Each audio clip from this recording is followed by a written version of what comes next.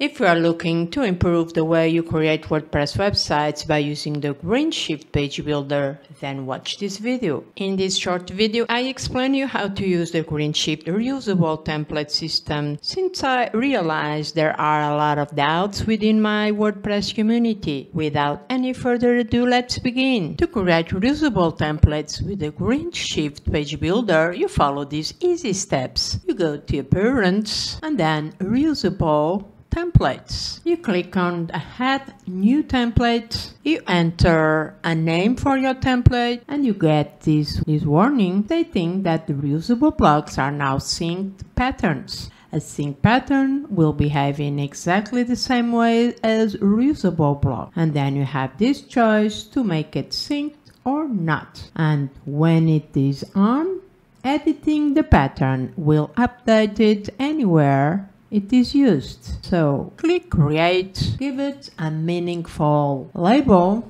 and now we will be using the GreenShift blocks to design the templates. So I start off by having a container with a height of 600 pixels.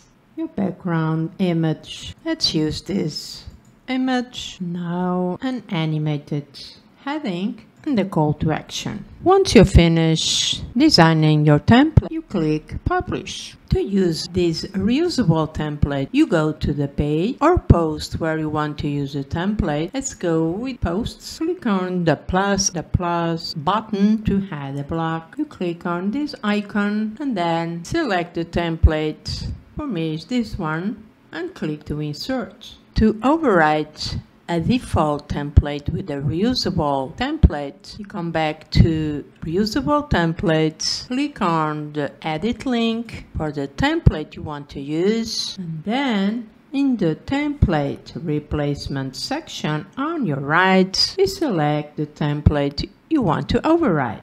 You can choose between all items or by using the manual selection or by taxonomy.